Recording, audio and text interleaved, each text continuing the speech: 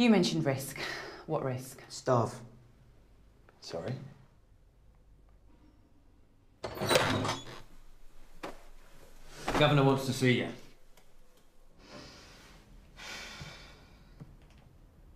If you comply with the regime, I'm prepared to offer you a place back on the wing. And a special kind of therapy with Mr. Baumer, with whom you cooperated upstairs.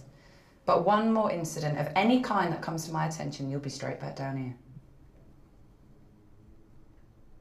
Just one problem. You're going to tell me what that is. I'm just saying. Say this therapy goes well, and it changes my life, and I rehabilitate. And then you lay it on for the next geezer, and it works for him and the next.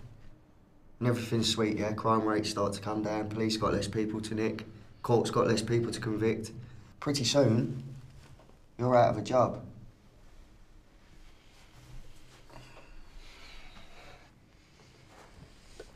Do you mind?